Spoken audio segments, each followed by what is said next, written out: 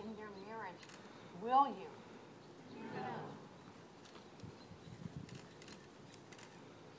Ryan and Rebecca have written vows that they are going to pledge to one another. And Ryan, it's your privilege to go first. Rebecca, when we first met at Cal Poly, I knew that there was something special about you. Kind of strange magic. Before I met you, I had very little motivation to do well in school and care about life in general. You have given me such a great sense of purpose by stoking a fire that at one time only you believed in. Now I have no trouble seeing the world in a more positive and optimistic light. When we're apart, I miss the way you laugh at all the silly things that I do and say things that leave everyone else in the dark. Even when I set the self-checkout machine at the grocery store to speak only in Spanish, still, albeit eventually, laugh with. Our shared love and faithfulness to God is the foundation of our relationship, and our love for Star Wars is a close. I look forward to growing old with you and being able to see all the laugh lines that on your face. I may be even able to point out a couple and say, oh yes, I remember that one. To me, marriage is dedicating yourself wholeheartedly to your deepest and closest friend, and I'm happy to create that bond today.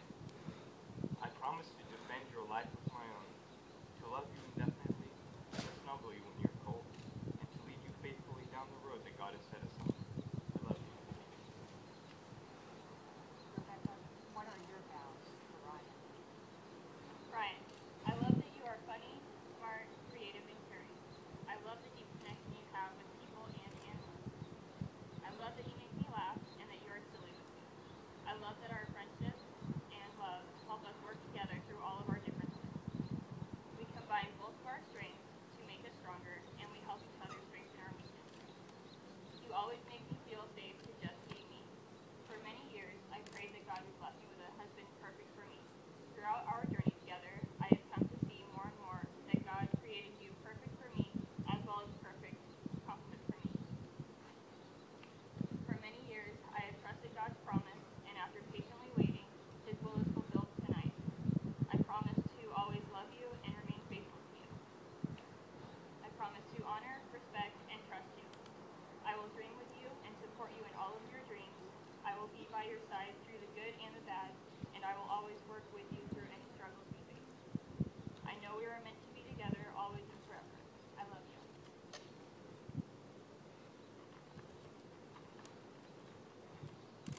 What do you bring as a sign of these promises?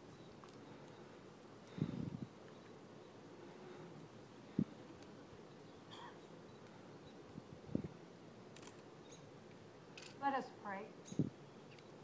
Bless these rings, O Lord. Use these symbols of unending love and faithfulness to continually remind Ryan and Rebecca of the vows they have made this day through Jesus Christ our Lord.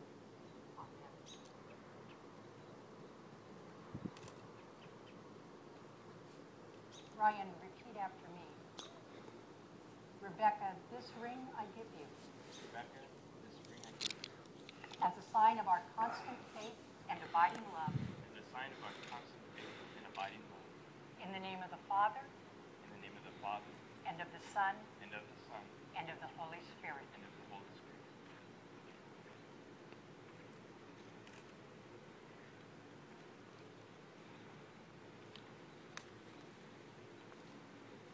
Rebecca, repeat after me.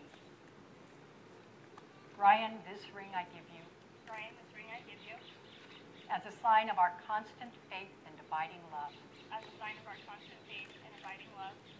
In the name of the Father, In the name of the Father, and of the Son, and of the Son, and of the Holy Spirit. and of the Holy Spirit.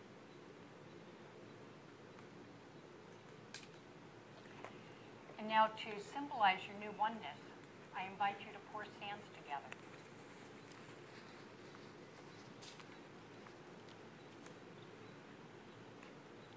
Hang on a second.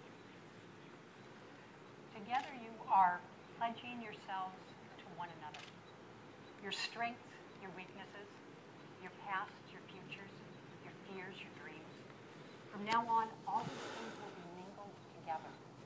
The small containers of sand represent all you bring as individuals to your marriage. And as you pour them into the larger containers, the grains of sand will merge together and you won't be able to ever separate them. So will your marriage be. The sand colors represent something as well. All that God has done in your individual lives up until this point, and all that God will do in your lives together from this day forward. The colors symbolize faith, hope, and love, because the Bible says in 1 Corinthians, these three remain, faith, hope, and love, but the greatest of these is love. So I invite you to take these symbols of faith, hope, and love that God has given you as individuals and pour them together as a wedding couple.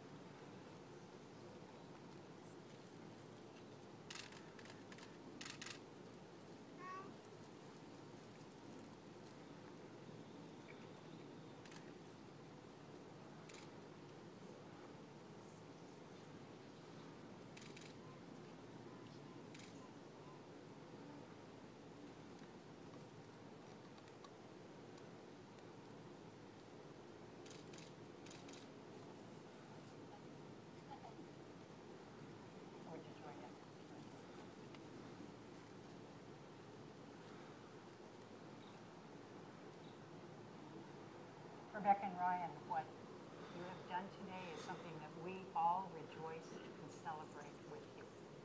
You have pledged your love to one another. Your love has brought together people from many different parts of your life. People who have known you from your infancy to people you've only met recently. They are all people who are celebrating today. People who were once strangers are now united in celebrating the joy of love. It's an awesome thing that you've both just done together. You two have vowed to one another and before God and all of us that you will live for each other and no longer live for yourselves as individuals. You will be true to one another, faithful, patient, kind. You two are saying that it's no longer just about me and just about now, but it's about us and about forever. Today, you are choosing to live for one another. You come to each other having laid a great foundation for your marriage. You've built something beautiful together. You know what you're pledging yourself to. To do life together during the good times and the not so good times and the absolutely unforeseen horrible times. You'll face them all together. But today is only the beginning. Romantic movies sometimes end with a wedding with a swell of violins and the couple sailing off into the sunset together. And people sometimes wipe a tear from their eyes and say, oh, now they'll live happily ever after. And as we watch weddings, sometimes we are tempted to think, oh, now they'll live happily ever after. But that's a myth.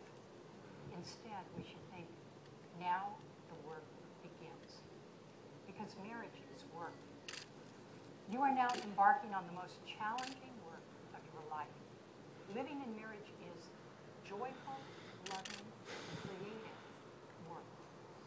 And I encourage you to continue that work as long as you both shall live. Work to communicate with each other. Work to serve one another, even when it's inconvenient. Work to forgive one another as Christ has forgiven you. Work to keep the flames of love alive. Work to be faithful to the vows you have just made to each other and to God. My encouragement to you is that God is on your side. God cares deeply that your marriage succeed, that your love flourish, because as the Bible teaches, God's very essence is love, and your love is a reflection of that holy love.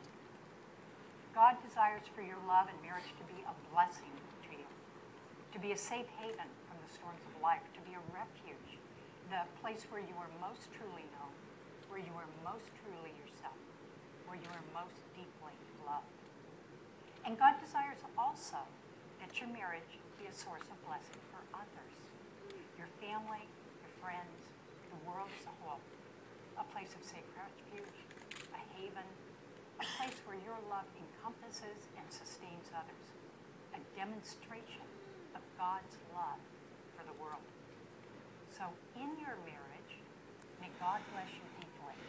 And through your marriage, may God bless others for his purposes. And now, by the authority given to me by the minister of the Church of Jesus Christ, and by the power vested in me by the state of California, I now pronounce you husband and wife in the name of the Father and the Son and the Holy Spirit. Ryan,